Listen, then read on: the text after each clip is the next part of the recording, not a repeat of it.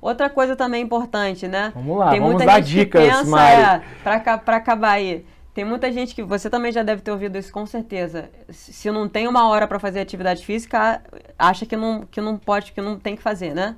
É verdade. Não tem isso, galera. Se tiver 20 minutos para fazer, faça. Com certeza. Se tiver 15 minutinhos, faça. Se tiver 30 minutos antes de dormir, faça. Com certeza. O importante é fazer. Eu sempre falo isso também para meus alunos. Ah, cheguei muito tarde, não tive tempo nenhum. 15 minutos antes de dormir, você teve. Com certeza. Você Pega a bicicleta, vai andar no parque né, num condomínio, sai para correr com 20 minutos, aquece 5 minutos, alonga ali, sai para correr 15 minutos, volta, deu, deu 25 minutos. Uma corridão. E você corridão. fez o treino, né? Se é uma pessoa que já está um pouco mais condicionada, pode fazer um treino mais intenso, de 10, 15 minutos no ritmo mais rápido.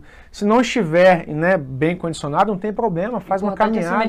Caminha, volta, faz um abdominal, uma flexão, então não tem desculpa. Não, é não é verdade? Tem.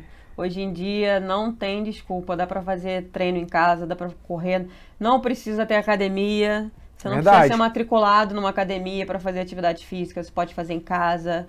Você pode fazer algo na rua, na praia, não tem desculpa. E um, um, negócio legal que eu ia falar, que eu costumo falar, é, as pessoas que falam que não tem tempo de fazer exercício físico, eu iria até lançar um projeto é, uma semana, vocês podem fazer as contas aí, 7 vezes uh, ah, 24 horas, vai dar, se eu não me engano, 168 horas, né? Uma semana inteira, 7 uhum. dias, 24 horas.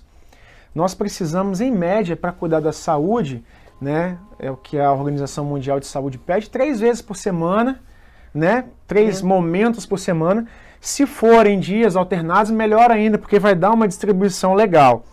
E as pessoas precisam de 1,7% dessa uma semana para que elas atinjam 3 horas por semana. Então você sair, você se dedicar ali 50, 60 minutos na segunda, 50, 60 minutos na quarta e na sexta ou no sábado, isso significa que da sua semana inteira você gastou, você investiu 1,7% é de tempo. Ridículo, né? É ridículo, é muito pouco. Por isso que quando eu fiz essa matemática, uns dois, três anos atrás, eu gosto de, de falar esse número né, para as pessoas, porque realmente, para algumas elas vão pensar, poxa, realmente 1,7% é muito pouco que eu preciso do. Fica muito mais no Instagram.